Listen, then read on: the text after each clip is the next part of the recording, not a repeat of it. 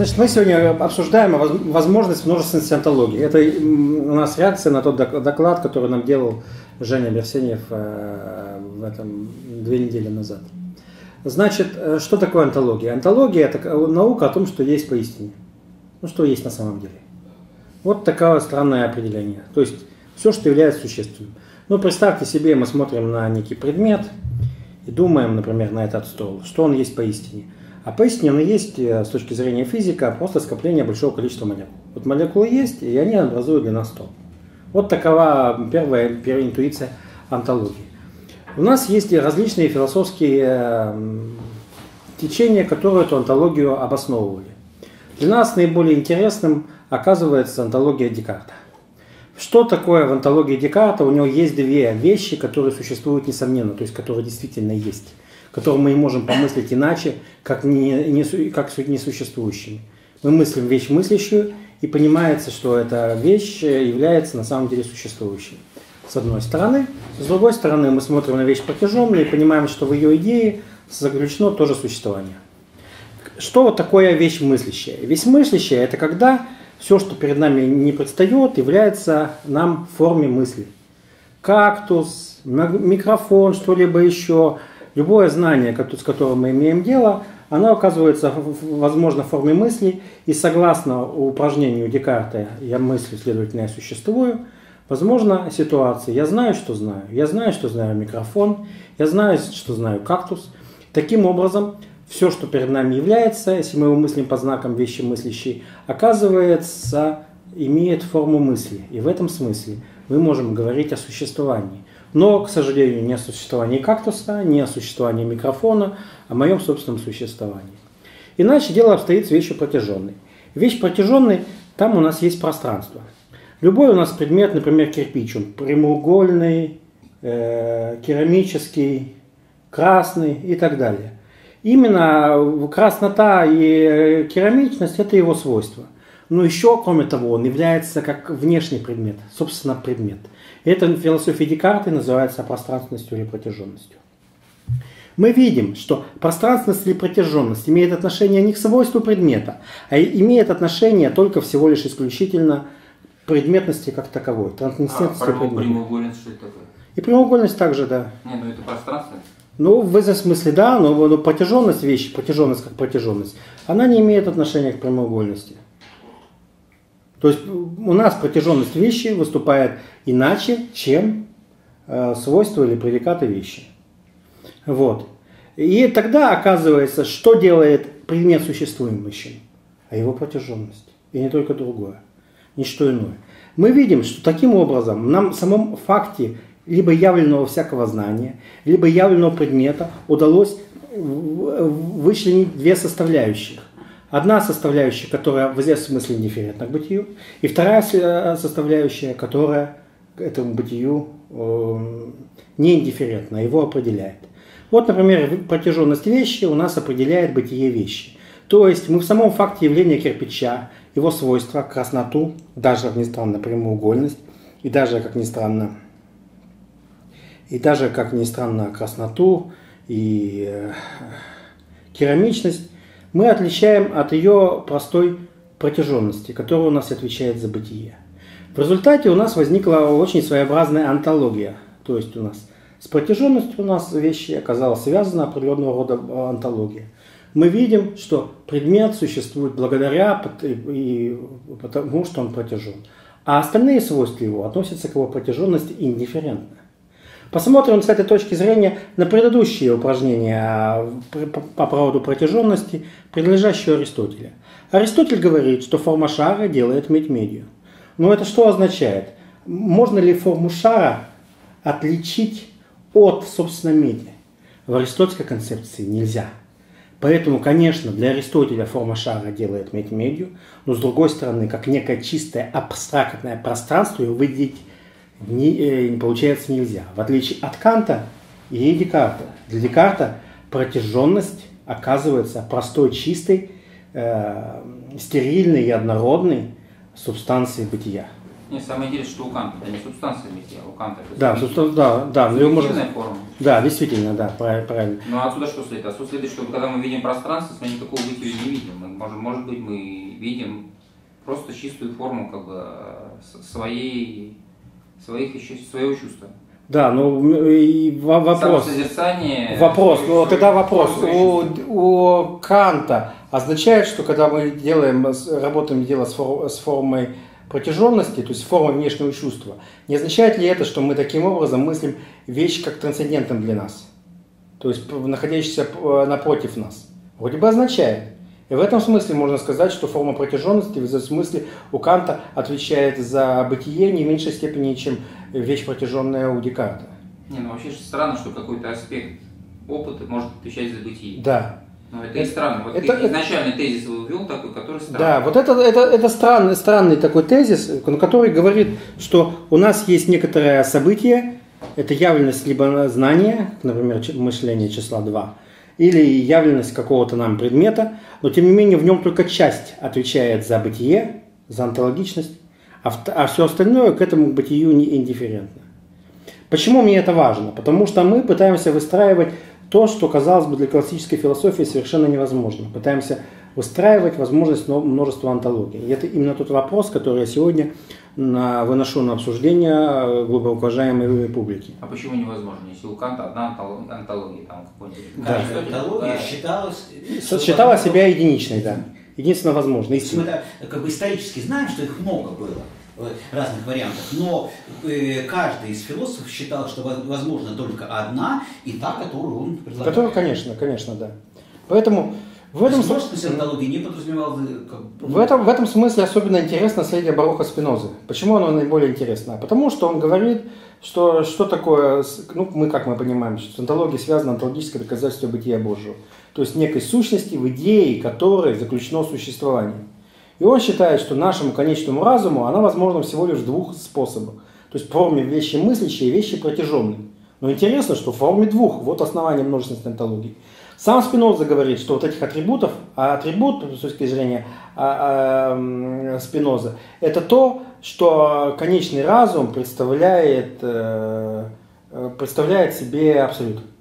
Под, под каким, под каким видом? Вот, например, мы, мысли о вещь протяженную, мы таким образом, это можно только доказать, не можно понять непрерывно в качестве непосредственного знания, представляем себе абсолют, который за всем этим делом скрывается. То есть такая сущность, в идее которой, то есть сущности, которой со- состоит ее существование. Но интересно другое, что тем самым м, Спиноза постулирует бесконечное количество атрибутов, которые могут быть абсолюту. И каждому из них, безусловно, может быть сопоставлено в основании определенная рода антология.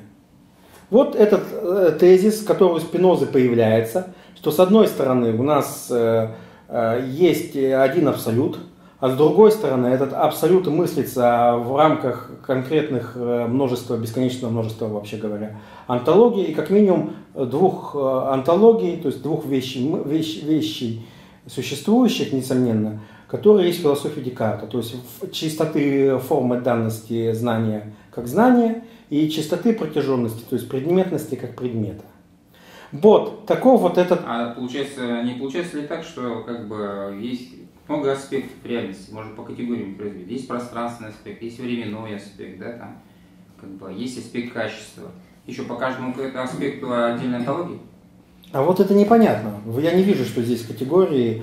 э, Просто категории потому и выделены, на самом деле, что они никак не пересекаются. Категории про количество и все, что Ну, и, и- чего, и чего, и как, и как можно из идеи количества Да, получить. дело не в этом. Просто дело состоит в том, что мир и это, и есть две, два разных как бы, понимания того, что такое, э, так скажем, так сказать, региональность бытия. Можно понимать, что под каждым определенным родом понятием скрывается целый мир. Да, потому что когда мы сквозь это понятие смотрим, сквозь количество, все превращается как бы в количество.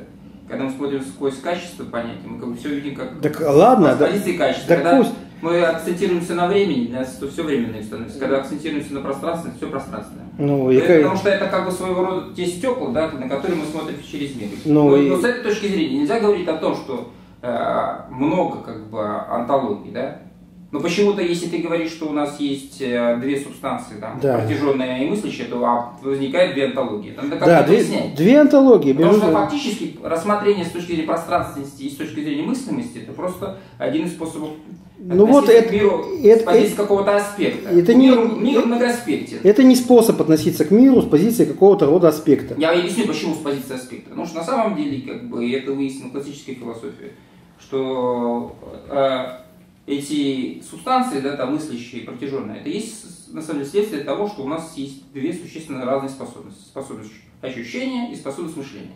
Ощущение мы схватываем в мир вот его пространственности, а мышление мы его мыслим. И поскольку эти две способности независимы друг от друга, то из-за постоку как бы мир у нас как бы удваивается. Да, удваивается на мир, который постоянно нами ощущается, и на мир, который мыслится. И все. Тут как бы нету никакого фокуса. Энтология не появляется, а просто человек устроен так. Или, вот, можно придумать любой прибор, да, которого будет иметь два датчика. По, по, по, по уровню одного датчика будет один мир, да, а по уровню другого датчика будет мир другой. Да. Допустим, эти датчики совершенно там, ортогональны. Они не одну и ту же информацию считают, а разную. Там. Один меряет температуру, а другой, допустим, меряет давление. Ну или там не давление, лучше там придумать что-нибудь там еще там. Допустим, мерить высоту. У нас будет два мира. Мир высоты и мир, мир температуры. Ну все-таки антологии разные. То есть, э, скажем, ну, вы выделили этот дуализм, да, а дальше что мы ставим, э, от чего начнем плясать? По главу глаз что ставим? Сможем поставить э, вещь протяженную, вот, э, и создать, скажем, материалистическую э, антологию, э, в которой наше мышление будет выступать лишь некоторым модусом, э, некой свойством э, высокоорганизованной материи. Это вот описание. Э, Я бы вообще, э, наверное, антологию э, определил так. Это объектное описание мира. Вот когда мы что-то вы- выделяем, некий вот объектно, то есть философию, если мы мыслим категориально, это у нас будет гносеология. Если мы мыслим причинно-следственно и формально, то это будет логика, да? То есть взаимоотношения. Если мы мыслим э, объектно, то есть вот что-то вот выделяем, то есть это будет антология. Вот в зависимости от того, что мы э, положим как исходный объект, положим исходный объект Бог, да? Здесь, Или мысль, Если вы заметите, или абсолют. слово положим. То есть Положим, да. Это слово положим полагается на некую рода что можно что-то положить. Нет, есть когда за полагаем, всеми вашими фо- фо- формально якобы многими антологиями скрывается некая антология, на основе которого вы можете считать, что что-то можно положить. Нет.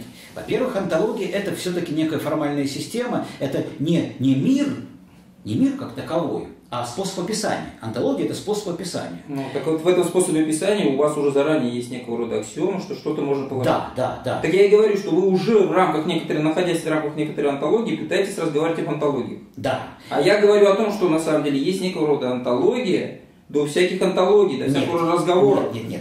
До разговоров антологии быть не может по определению, потому что антология это не мир, а способ его описания. Это разговор, это способ говорить. Ну, это, это- И если мы Подождите, должны- вы, э, говоря так, опять же, вы находитесь в неких рамках своих. Конечно. А я говорю о конечно. том, что изначально что-то существует, а потом, на самом деле, существует наш способ об этом говорения.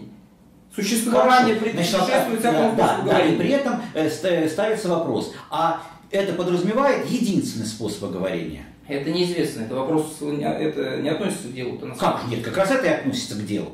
Антология – это способ говорения. Ну, хорошо, Если да. вы подразумеваете, что это э, и существует только один способ говорения, соответствующий тому, как на самом деле, тогда действительно антология Ну, одна. Хорошо, пускай, но это не философский вопрос, это вопрос Почему? там теологический какой-то. Почему? Ну потому что желание один, не один, это вопрос внешний. Вопрос существенный состоит в том, что действительно разбивается ли мир на свои аспекты. Вот есть ортогональные аспекты, допустим, пространство, временность, или там, там качество, количество и там много других аспектов. Не, не, не ли так, на Булат, свои это немножко не точно. нет? Аспекты это правильно, но аспекты это другие. Мы можем ли разбить мир на сущность существования? Вот в чем дело. Можем ли мы Однозначно. Можем, можем, можем ли, да, мы можем ли в мире выделить э, в сущем, можем ли выделить такую сущность, да, кото- кото- которая будет отвечать нам только за существование. А другая часть сущего, то есть другая сущность, она за это отвечать не будет, она будет подчинена ему. Вот если такой вопрос возможен, то вот тогда разговор об антологии существует. Но антология, хочу еще раз заметить, с моей все-таки точки зрения, это не способ описания, это не язык. Это вот то, что вот именно мы вот смотрим, кауза суя, причина самого себя. То есть такая сущность, в которой как таковой положено ее существование. Но тут я с Булатом соглашусь, это вне языка быть не может. То есть я в любом случае вижу то, э, э, что могу описать. Да. То есть это, это совмещено, это нет отдельных, действительно, это не наука. То есть антология это не та наука, где вот есть предмет и есть теория, которая его описывает. Но антология, как бы, она все равно теория, но она совмещена самим взглядом, самим восприятием. совмещена. Она, нет, она, конечно... Теория э, здесь э, совмещена. Нет, нет отдельного восприятия, а потом конфигурация этого восприятия в теорию. То есть сама теория определяет это восприятие. Ну, да. в здесь смысле... Возможно ли разные? Нет, в смысле это, э, это так. Ну вот, например, вот эта философская традиция, с которой я начал, вот она полагает, что вот можно из некоторого простого способа, например, из, просто из анализа моего знания, какого-то еще, понять, что в нем отвечает за э, бытие, то есть и получить эту вещь мыслящую, и понять, что является приходящим. Например, корень из двух обладает определенными свойствами, что при возведении его в квадраты будет равняться двум. Но что здесь отвечает за бытие? Форма мыслимости. Все, только форма мыслимости. Вот таков, э, так, таков предмет. Точно так же в кирпиче в этом. Краснота за его отвечает или что-либо за бытие? Нет. Протяженность. Влад, вот вопрос э, такой. То есть, э, существует множество антологий. Исторические. И как мы должны к ним относиться? Э, как в науке к несостоявшимся неправильным теориям, то есть был теплород, учить. То есть в науке мы как бы действительно, вот была теория какая-то античное, потом средневековое представление. И сейчас вот наука, вот считается набор теорий, они задают некоторый взгляд более-менее, ну, как мы принимаемый, истинный и все.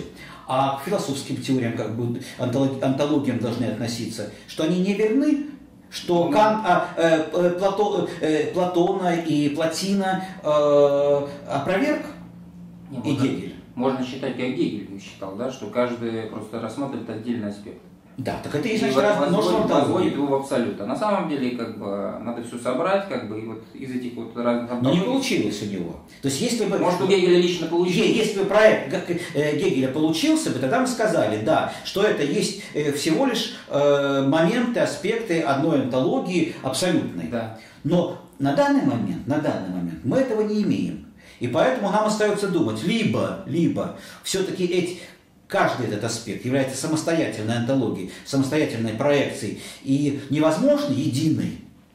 Единый. Либо мы просто еще не дожили, сейчас придет некий гений, который создаст единую, самом делешную, соответствующую реальности антологию, и все остальные, всю философию мы перечеркнем и забудем, как страшный сон, э, как средневековую науку, там, до, до, до, скажем, до научные представления. Ну, этот вопрос, наверное, не разрешаем, да, потому что у нас нет критерия, на основе которой мы одну отбросим, а другую оставим. Да, и поэтому я бы склонился к тому, что антологий много, и их много именно не, не, не потому, что какие-то неправильные, исторические, не потому, что э, они неправильные, а потому что э, точ, здесь, э, как правильно я сказал, что это взгляд конкретного человека. Вот конкретный человек видит вещь так, ну, а другой видит иначе. Ну, скажем, должны ли мы отрицать антологию буддизма, потому что они вдруг поиначе видят мир? У них в языке, во взгляде, восприятии, в мышлении они видят мир иначе. И мы должны сказать, что их антология неверна, или у них нет антологии. А антология вот наша, европейская, правильная. Значит, у них тоже антология. Значит, ну вот уже, здесь еще есть вопрос по отношению исторического европейских антологий, что ну вот как бы мы вот некое восхождение есть, может, там от Платона до Гегеля, можно вас, то если мы соотнесем с э, буддистской, э, с ведической антологией, э, с Ведантой, с Адвайтой Ведантой, то мы поймем, что это совершенно другая антология и никак не, не совместима с европейской. и ни одна другую не отрицает. Проблема-то в чем состоит? Как бы вот языковая философия языка считает, что это проблема языковая да, что на самом деле язык разный, да, и как бы нет возможности редуцировать один язык к другому. А так как язык плотно, как вы правильно говорите, связан с реальностью, то фактически и реальность у, них, у нас разная. Разная. Хотя может быть мир один, может быть. Ну то есть можно гипотетически считать, что а, мир один. Здесь вопрос такой тогда возникает. Вот когда мы говорим мир один, мы подразумеваем его уже онтологичность или нет? Можно ли мы подразумевать, э, допустим, мир один, допустим, вот он, вот, вот, но наше восприятие всегда онтологично. Антология возникает, не, не существует в мире, а именно в нашем восприятии антология да. возникает. И поэтому мы, даже согласившись на том, что мир один и, и един, и одинаков, и для них, и для нас, но антологии у нас разные. Да. Но в этом возникает что какая-то лукавство, да, как так, mm. в едином мире могут быть разные антологии. А, и что... это проблема, которую пытался вот Гегель, в частности, разрешить. Да, пытался, но вот мы увидели, что он создал еще одну антологию наравне, но при этом не, не поглотив предыдущие антологии. И вопрос об истинности, это опять же из позиции говорит, ну как мир-то один, как может быть это разный взгляд на мир? А, а сейчас мы как бы признаем, что можем, может. потому что э, поскольку языки разные существуют, традиции разные существуют. Ну тут причина, следственно, язык является причиной или язык следствия, ну как бы, ну все равно мы э, понимаем, что это вот и, и в языке антология существует. И отражает антологию, или э, порождает антологию, то есть уже как бы это не, не, некое единое целое. Вот, и действительно, да, то есть антология, ну и по Канту, антология возникает в восприятии, явленности вещи, как, как она мне явлена, да. Вот. И, а если какая-то вещь в себе, там, что там за ней лежит, это вне антологии.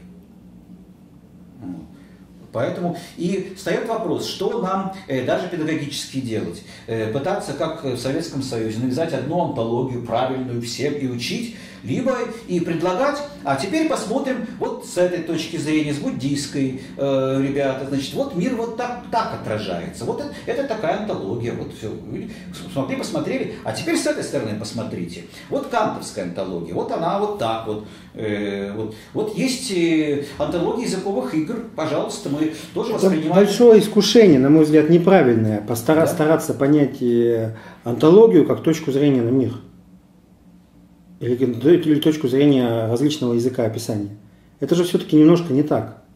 Здесь есть проблемы. Ну, давай попробуем. Ну вот я не Нет, знаю. Имеется в виду, что Александр говорит, что в любой язык, в любое описание инкорпорирована некая антология. Хочешь ты того, ну, не хочешь? Я понимаю. И уже как бы просто я понимаю, что это, что это, это точка зрения. Не нижний уровень. Да, это, что это, это, что это как бы... явно может высказана. Понятно. Я понимаю, что, что как бы антология является точкой зрения, то есть некая установка восприятия. Правильно же? Ну да, то есть, скажем... Но э, это немного не так. Вот ну, в чем, чем дело. Вот сравни, вот я вижу вещь протяженную, да, э, и вижу э, в, в, в, этой, в этой протяженности некую сущность в этом пространстве, да, и вещь как явлена в нем в пространстве. И, а я смотрю с другой стороны, смотрю с событийной антологии. Я вижу поток событий, там нет пространства, да, и я вижу, то есть я мыслю вещь э, как э, некое множество событий, явленных мне вот таким, э, таким способом. Вот. И что соответствует миру? Какой мир? Ведь, обратите внимание, почему я вот на этом тезисе настаиваю, что не обязательно точка зрения связана с антологией.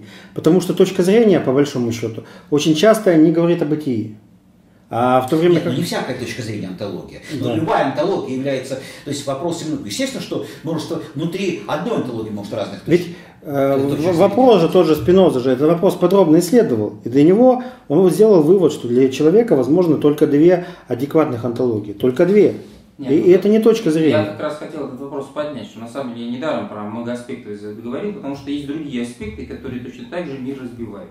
Так на правильно. плоскости. Допустим, вот Сейчас вот говорил Александр, что вот есть пространство, есть время, да, и в каком-то да. смысле Тут личный подход это пространственный подход, а, Чувство. а событийная антология это временной подход. То есть Поним, в каком-то смысле весь мир у нас разбит по аспектам Понимаете, вот тут же самый кирпич можем разбивать по другому э, смыслу. Можем его красноту противопоставить его керамичности. Два различных его предиката. Ну, но они не по зададут. Категориям, по категории. Да, но они не зададут нам антологию. Вот в чем дело. Ну вот э, вообще-то вот Александр развивает событийную антологию, да? Просто время это тоже не одна зададут. из категорий. Они антологию не зададут. Почему? Кирпич не задается своей протяженностью. Вверх кирпич может быть да. совершенно разным. Вот протяженностью он антолог, а антологию... Если от кирпича отнимешь... Кирпи... Я предлагаю такой тезис. Вот э, скажем, э, антология, она подразумевает некую законченность некоторую замкнутость, некоторое описательное единство такое.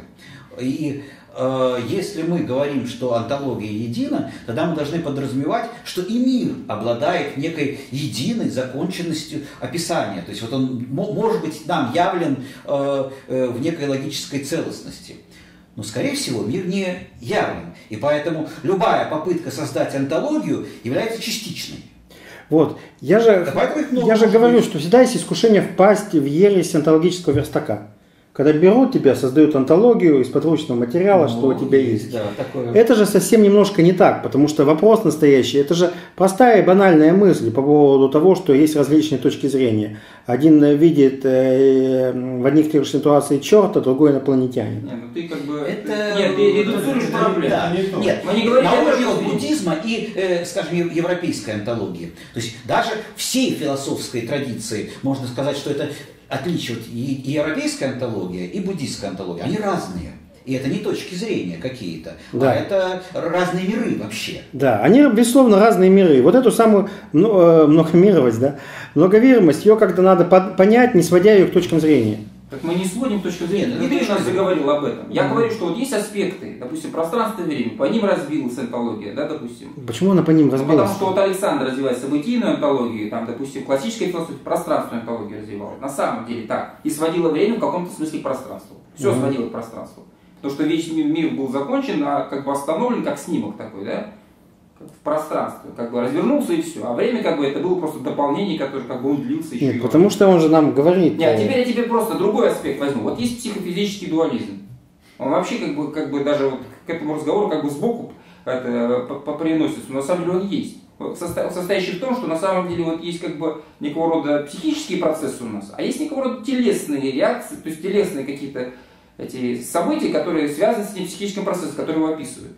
И на самом деле вот одно с другим никак связать невозможно. То есть можно, либо мы говорим о психической жизни человека, скажем, да, либо мы говорим да, о том, какие процессы да, в мозге обрати, Да, обратите внимание, что подобного рода разговор психофизические развлечения антологию нам не задают. Дело не в этом. Дело состоит в том, что есть Антология задает нам отношение к этой проблеме. А это сама проблема не задает. Смотрите, другой, другой аспект. Физически есть это четыре взаимодействия, да, там, как бы, которые мы знаем физически. И как бы хочется там все физики этим заниматься, как бы свести все к одному. Не сводится. Вот есть гравитационное существенное отличие, есть там слабое взаимодействие, электрослабое взаимодействие, есть там это сильное взаимодействие. Опять разбиение по аспектам, понимаешь? Опять мир как бы расслоился и развалился на регионы. Да, ну прошу прощения, но при этом... Подожди, подожди, вопрос на чем сводится?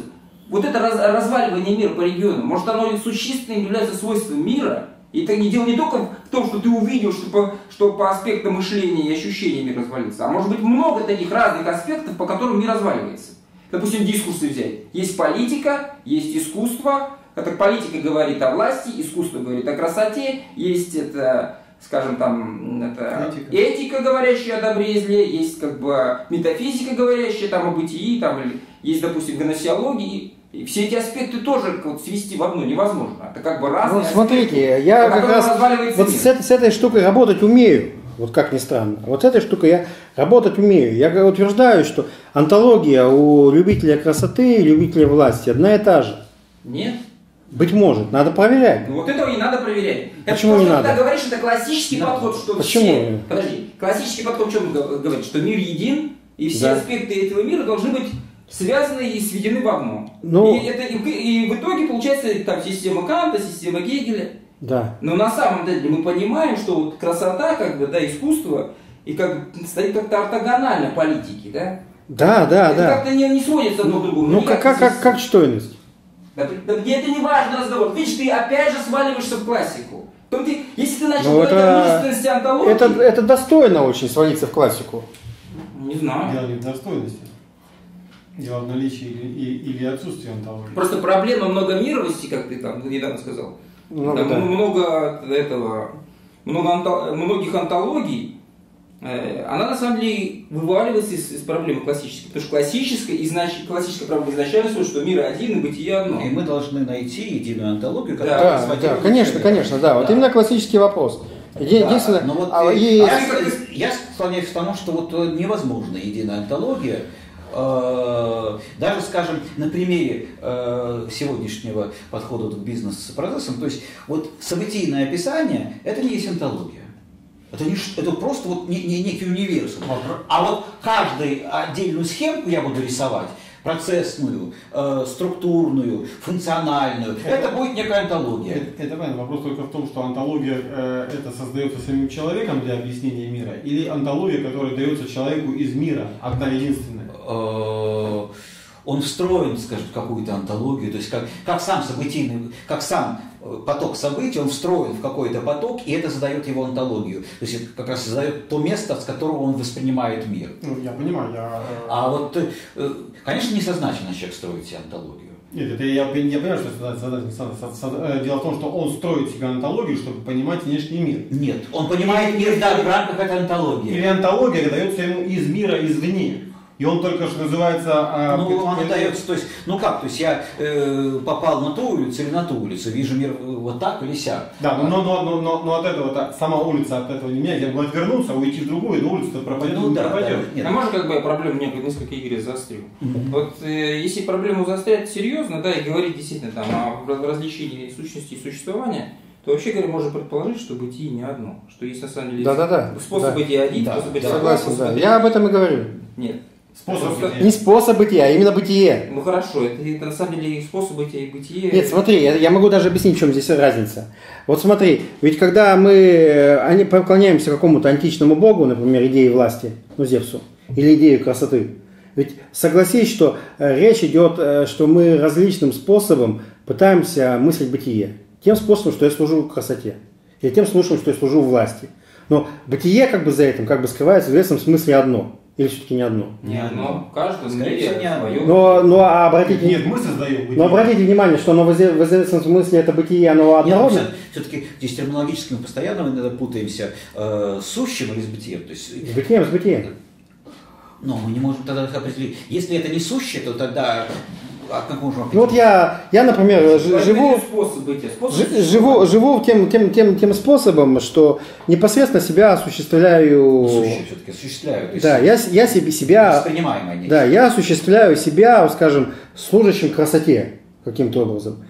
Где здесь бытие? А в моей непосредственности этой деятельности, непосредственности меня как формы, как принципа построения предмета какого-то, и меня и, и результата тогда можно сказать, что э, на этом уровне для всех одинаковое, да, угу. где. Но тогда можно ли сказать, что это есть антология? Здесь есть нечто, скажем так, если это нечто универсальное, единое для всех, неразличимое, то это ниже уровня антологии. Антология сама по себе это нечто э, развлеченное. То есть, когда мы говорим антологии, вот мы говорим, а вот это так, это так, это так. Если у нас просто вот, ну, скажем, как у плотины абсолюта, то есть он антологичен? Нет, не абсолютно не антологичен, да? потому что в нем нет никаких различий. А антология возникает на других уровнях. Вот. И тогда антология возникает, да, вот э, красоты, антология служения власти, вот это антология. А на уровне бытия нет антологии тогда.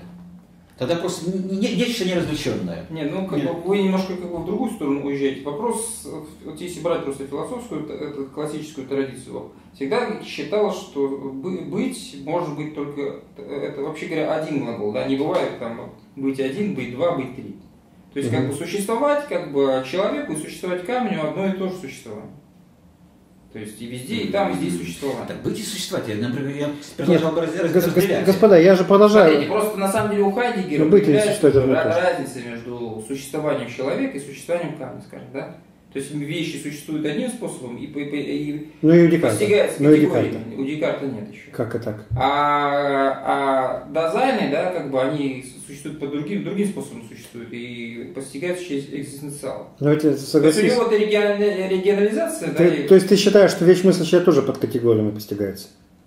Нет, вещь мыслящая не под категориями постигается, но как бы у этого у Декарта не задан так изначально вопрос о том, Потому что когда он говорит «я», оно у него не возникает логически из его построения. Он только доказывает, что на самом деле мыслящий, э, мыслящий мышление, пока, пока оно осуществляет деятельность, оно есть. А то, что за этим мышлением есть какая-то вещь мыслящая, это нужно еще доказать. Поэтому как бы на самом деле как вопрос Э, с Декартом в этом отношении сложно. Вот для Декарта вопрос, он ясен, что за, за вещь мыслящая стоит за само, сама, само это, терминология вещь мыслящая указывает на то, что это и что вещь протяженная, что вещь мыслящая, и то, и другое вещь. То есть и то, и другое mm-hmm. постигается категорией. Ну, не знаю, не уверен, сомневаюсь даже очень сильно. Но я хочу опять обратить внимание. Вот у нас античная философия, вот эта цеховая философия. Я, когда служу красоте, и когда я служу, скажем, силе или, да, или торговле я служу, когда, это я почитаю одного Бога под разными именами? Или все-таки я всяких, всяких, всяких разных разных богов? Разных. Именно как... Нет, как раз наоборот. Почему? Одного Бога. Он по сущности Бог. Он только наделяется от тобой, наделяется разными ну, просто атрибутами. Из-за моей конечности, из-за моей конечности, я его вынужден, я вот умею только его под, под, под именем красоты, под именем Артемиды. По, по, конечные, да. боги разные. Да нет, да. вопрос же не в этом. Так... Нет, ну, они принципиально разные. Принципиально. Или, или все-таки, а, или все-таки это различные имена одного бога. Ну, скорее, Еще раз говорю, вопрос же не состоит как бы, в принятии это решении и голосовании, так это или нет. Вопрос состоит в том, что красота ортогональна власти. Ортогонально. Ну и все, или уже не важно. Как, как, как сущность. Невозможно их свести, редуцировать к одному, к одному. Как сущность. Но может быть она э, ей... Нет, почему? Можно же можно как... свести треугольник, квадрат и круг. Это, да, у тебя же... разные вещи, но они у тебя... Э, идеи. Кирпич и гранитный, самое, кирпич как... и гранитный шар тоже в смысле ортогональны друг другу. Нет. Ну, у них поскольку, не то, поскольку материи, и то нет, у них есть протяженность.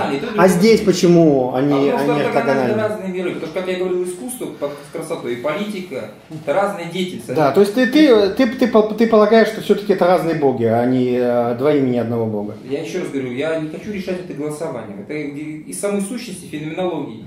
Мы никогда не, не будем, мы не сможем свести искусство к политике, не сможем. Мы, вот, допустим, вот есть у нас задача, да, вот, все, что мы в искусстве знаем, свести к политическим каким-то терминам. Мы не сможем свести, это разный мир. Это разный дискурс, как говорят французы. Да, они разные как дискурсы, но они, может быть, э, как форма непосредственного служения, они одинаковые. Я предложил бы, наверное, такой э, компромиссный вариант. Это использовать иерархию и уровневость. Потому что если мы выделяем некий уровень, и э, на нем может множество антологий, выделим нижний уровень, на котором Бог един, да, и абсолют един, э, там будет одна антология. То есть антология э, все-таки, э, и даже в жизни у нас, в нашей жизни людей, зависит просто даже банально от уровня образования, от уровня э, э, воспитания, у людей разные антологии. И а, множество а, а люди антологий. без антологии бывают? Без антологии? Нет, наверное, нет. То есть просто ну, от, э, взаимодействие с, с миром. Ну, определ... интересный вопрос. Люди без антологии бывают?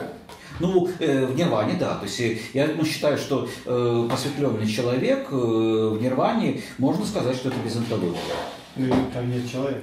Там нет, да. Ну вот, там нет человека нет. и нет антологии. Я-то был на самом деле с Александром не согласен в том аспекте, что требования иерархии есть на самом деле внешние требования. Мир как-то устроен на самом деле хаотично, как мы видим. Нет, мир, Если мир, мы да. И мы должны подражать этому тому, как устроен мир. Он устроен хаотично, и скорее всего и все наша, вся наша антология тоже должна быть хаотичной. То есть это на самом деле идеи тоже французы, Делес это развивает, что нету никаких иерархий, никаких этих последовательностей. Есть на самом деле что-то как корневище. Нет, нет. нет, а, нет а, Афродита, нет Афродита не выше Афины. Афина не, не, не выше, не выше Афродиты. Не, здесь иерархия идет не о том, что э, какая-то э, богиня или какой-то бог в иерархии, а как мы воспринимаем. То есть мы можем воспринять...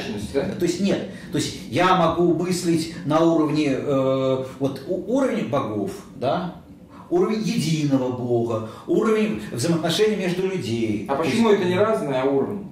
Том а. и состоит вопрос. Почему это может разное быть и все? А, может быть. Рядом стоящее разное. А вы его ставите в иерархию. Э, боги, боги же между собой общались точно так же, как люди. Нет, дело не то, что это просто внешнее требование, чтобы была иерархия. Нам нет, хочется, нет, чтобы нет, был порядок. Нет, нет, Если мы говорим об антологии, антология это есть упорядочение. Нет. Может быть беспорядочная антология? Нет, нет. Вот смотрите, вот пример хороший, вот корневище. Вот представьте себе, чтобы вы видели это вот мы сверху смотрим, да, как бы вот все растения уходят в землю. Представьте себе, что вот мы эти корневища видим. Они что беспорядочные, как угодно растут. В каком-то смысле, быть, может быть, наш мир вот представляет такое многообразие корневищ. Есть даже какой-то термин в ботанике, там, который Делес использовал для описания своей философии. Когда мы смотрим на мир и используем язык, и видим вещи на тех местах, где они стоят, и все, это способ упорядочения мира. Но это вы так хотите. Понимаете, в некотором смысле то, что мир упорядочен, это наше желание. Не, не, не, нет, это не наше желание, это наш способ существования. Нет, это ваш личный способ. Это понятно, но способ... Нет, Я еще. Если мы, если мы сейчас с вами разговариваем и даже спорим, но все равно понимаем, взаимодействуем, это уже способ упорядочения. Да, это, конечно, так. Но надо Частично. вопрос, вопрос от упорядоченности мира отличать от антологии. Потому что вопрос упорядочен – это вопрос языка. Что действительно я, э, исходя из собственных каких-то понятий, я мир в том-то, в том-то мире сортирую. А рядом со мной сидит бушмен, он его сортирует по другому По-другому, принципу. да. Ну вот, это не антология. А не антология? А почему она антология? А я считаю, что это антология. То есть способ видения мира, способ Да, видения, способ- это, есть, способ- способ- это есть. Способ видения мира Да, это, это правильно, э, так что- это Давайте, способ давайте. разрешения чтойности. Давайте да, определим, что мы способ подразумеваем по слову антология. Подожди, Я ну сказал. вот да. Ну, Не, внутри способа вот, э, сортировки есть антология, надо так говорить. Сама сортировка не антология, но внутри него она базируется. Нет, может, может, может оказаться, что антология у Бюшмена и, и у меня, при всех нашей разницы, одна и та же. Вот Декарт же нам говорит, что у нас а, одинаковая с Бюшменом антология. Может Нет. быть. Так вот я и предлагаю решить, что на уровне Декарта у вас одинаковая антология, а на уровне религии у вас разная антология. То есть, скажем, есть э, как бы какие-то элементы, когда мы выделяем вещи прост- про- про- про- протяженные, на этом уровне у нас может одна. А чуть мы начинаем за искусство и политика рассматривать, там наша антология расходится. Поэтому я говорю, что на нижнем уровне антология одна у всех может быть, а когда мы начинаем рассматривать разные аспекты существования и разные деятельности, на уровне деятельностей, э, у нас э, очень расходится антология. Ну, Скажем, не в той же Не, не уровень, а смотря что, что мы рассматриваем. Не начал разговор, не нравится, что вы перешли какой-то Какое бытие мы рассматриваем? Ну, ну. Ведь Почему вопрос не в том состоит, что у какого-то человека, у каких-то людей это разные антологии. Вопрос же не в этом состоит. Вопрос это в принципе, какие могут быть Да. антологии. Ну, так... Это а- не важно, люди придерживаются этой или даже... Да, потому что это мировоззрение, это точка зрения. У людей разные мировоззрения бывают. У у христианина одно, а буддиста оно другое. Поэтому Ну, я предлагаю, как бы, если есть Ну. разбиение антологии по как это раз, то он проходит по линии вот существенного разлома. Допустим, там какое пространство и время, Да. там, или там и, э, э, мышление, ощущение, там, Ну, может там. много- А я ну, считаю, что ситуация еще более радикальна. То есть не, не, не в этом смысле происходит разбиение, оно происходит как-то иначе. Очень важно антологию от мировоззрения отличать, потому что буддист Важно, действительно она важно, одна, да. У Бушмена она другое. Но вот нам Декарт говорит, что мне Бушмена при разности наших мировоззрений, при разности наших миров, при разности точки зрения. У нас одна антология. С этой точки зрения у нас получается только, грубо говоря, у э, животных одна антология, а у людей другая. Только Я так не уверен, сказать. что у животных есть антология. Ну, ну я, я, я, я привожу пример, что... Я не уверен, что они, животных, если они различают сущность и существование. Она, она возможно... а, Смотрите, как бы, а, вот, вот А Бушмен отличает? Возможно, что да. вот существенные есть. Ну, блин. Возьмем тогда, не будем брать Бушмена, возьмем Ну, Зулус. Различает. Опять же, как бы я вот возвращаюсь к аспекту, то есть это существенный есть регионный мир. Вот если, условно говоря, не живая природа, да, есть как бы растения, да, есть животные, есть человек. Ну, там может, может быть дальше продолжать, там какие там ангелы, это не важно. Важно состоит в том, что вот эти вот разные регионы, они существенно разные. И не, мы не можем живое просто вот так вот просто там как бы понять из неживого, да, там, и, и одно к другому. Там. С другой стороны, внутри живого, как бы мы растения, допустим, и человек, и там животные тоже не можем как бы соотнести, не так все это просто. То есть это существенно разные регионы. И может быть, как бы если вот все эти регионы, вот я же, видишь, уже много рядов уже показал, что ряды разных объектов, ряды как бы разных аспектов, то есть, допустим, пространство, время, ряды разных дискурсов, да, с точки зрения там, красоты и так далее. Ведь, может быть, весь мир на самом деле вот так вот на все эти регионы разбит.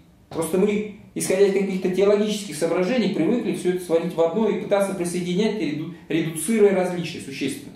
Вот, например, культур- опять культурный подход. Раньше, как мы считали, что вот есть одна цивилизация, допустим, европейская, она в прогрессии ушла дальше всех, а все остальные отсталые цивилизации. И задача европейской цивилизации состоит в том, чтобы все эти цивилизации ускорить и довести до себя, потому что, потому что считалось, что неизбежно они должны все эти пути, по которым прошла европейская цивилизация, пройти. Потому что они как бы отсталые, а как бы а европейцы как бы высокоцивилизованные, как бы они как бы э, ушли вперед.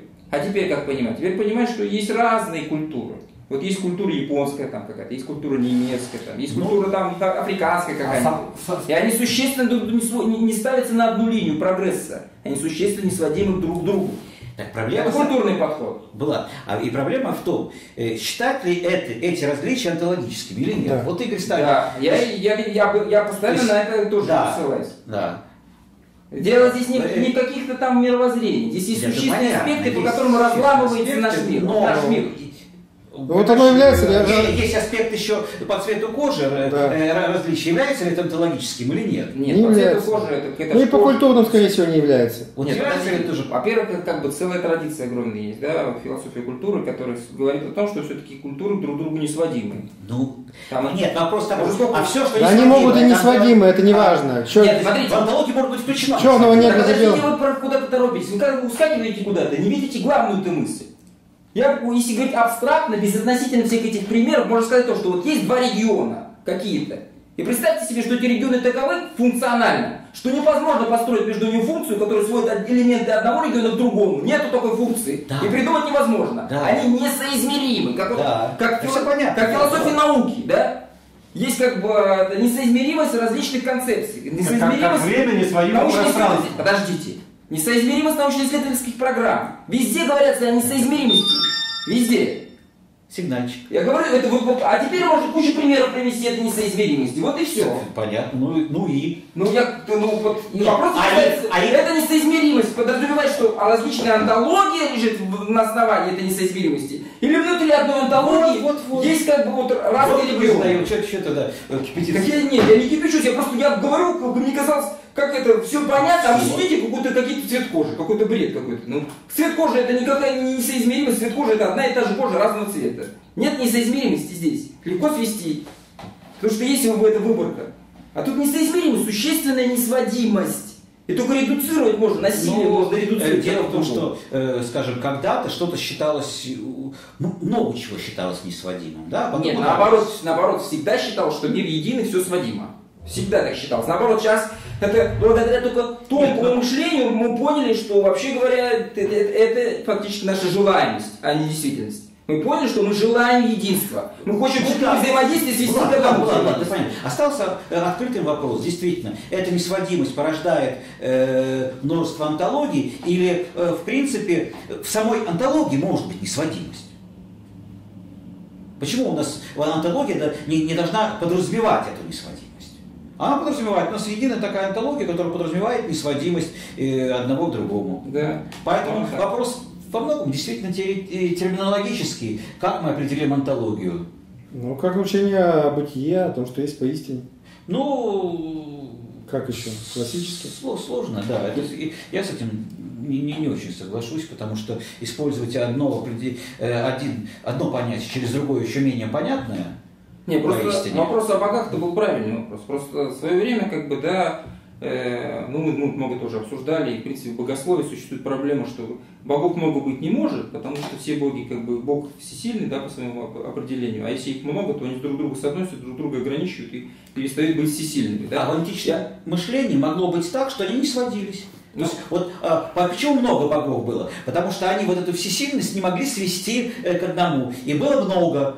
Вот, э, а потом оказалось, что можно свести. Вот тоже, видишь, такая Не, не, я просто имел в виду, что вопрос состоит в том, что как бы многобожие и однобожие это, это не вопрос как бы того, что как бы, а, однобожие доказывается. Это вопрос выбора.